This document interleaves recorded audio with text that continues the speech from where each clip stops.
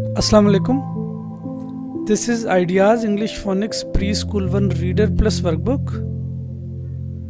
And today we are going to learn from page number 51. Children, this is Y and this is Z.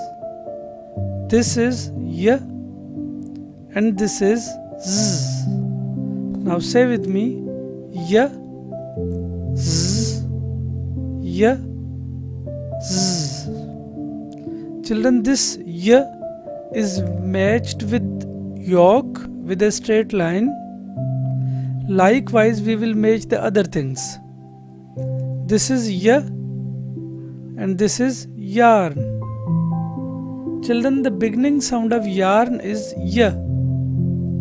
Now match this Y with a straight line with this yarn. This is Z and this is zebra. Children, the beginning sound of zebra is Z. Now match this Z with a straight line with this zebra. This is Z and this is zip. Children, the beginning sound of zip is Z. Now match this Z with a straight line with this zip. After matching the letters with the pictures, children now you have to trace these letters.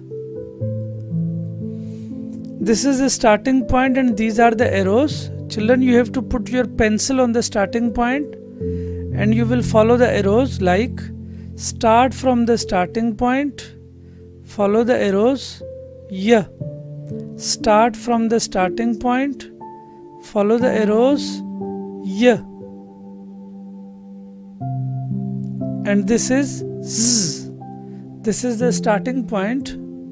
Put your pencil on the starting point, children, and follow the arrows, and you will say start from the starting point, follow the arrows, Z. Start from the starting point, follow the arrows, Z. Children, you have to trace five times in each letter.